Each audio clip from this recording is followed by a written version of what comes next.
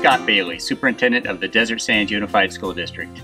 I want to thank you for your hard work and dedication as we prepare our buildings, grounds, classrooms, and schools for the 2017-18 school year.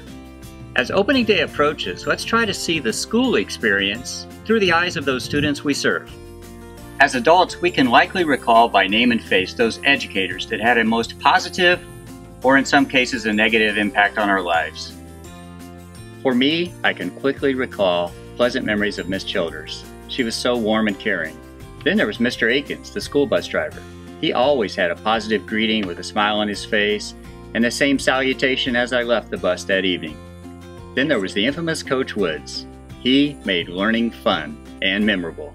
The point is, we have such an awesome opportunity, if not an obligation, to be a positive influence in the life of a child, not only on opening day, but every day throughout the 180 day school year. As we prepare to take the nearly 29,000 students that make up the Desert Sands Unified School District into our care August 24th, I challenge you to be the positive.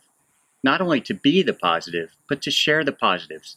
Make the positives so loud this year that they drown out all the negatives. As I close, know that you are a valued member of Team Desert Sands. I hope you have a wonderful 2017 18 school year Ready or not, here they come. Go. We have an awesome obligation. Mrs. Childers, grade one teacher. Hold on, that's going to pick up on the Uh-oh. car.